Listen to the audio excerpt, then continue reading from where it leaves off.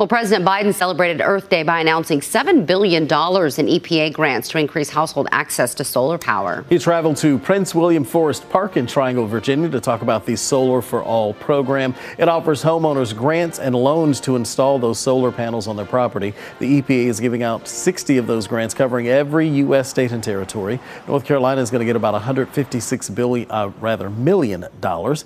The president says this program will help reduce carbon pollution by more than 30 metric metric tons over the next 25 years.